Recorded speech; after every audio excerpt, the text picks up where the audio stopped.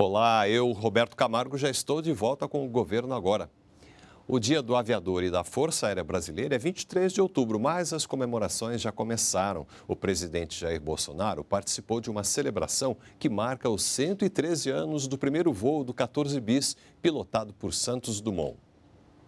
O Dia do Aviador e da Força Aérea Brasileira marca os 113 anos do primeiro voo do 14 bis, realizado em 1906 por Santos Dumont, o patrono da aeronáutica brasileira.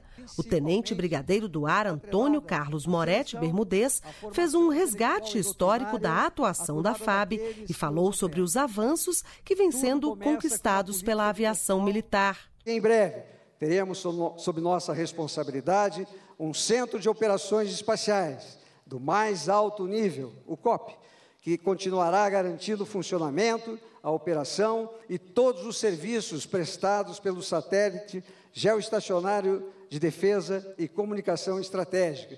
Durante a solenidade, 530 pessoas, civis e militares, receberam a mais importante condecoração da FAB, a Ordem do Mérito Aeronáutico. Também teve desfile da tropa.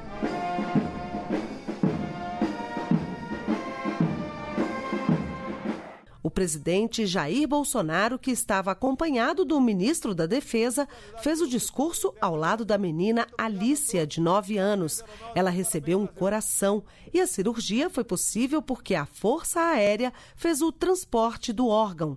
O que nós mais queremos juntos é trazer felicidade para o nosso povo. Fica muito menos difícil o trabalho de um presidente quando tem ao seu lado para assessorá-lo forças armadas, coesas, responsáveis, com espírito patriótico maior que o coração de cada um de nós. E dessa forma, nós podemos vencer os obstáculos. Delegações que fazem parte do BRICS, grupo formado por Brasil, Rússia, Índia, China e África do Sul, se reuniram em Brasília para debater temas como terrorismo, crime organizado, crises internacionais em países como a Venezuela. A reunião foi uma espécie de preparação para a cúpula do BRICS, que será realizada ainda este ano no Brasil. O presidente Jair Bolsonaro destacou a importância do encontro. Nesses dois dias de trabalho, foram marcados de alta qualidade técnica das discussões. Nessa agenda também estamos sintonizados é, no que diz respeito ao combate ao terrorismo e ao crime organizado.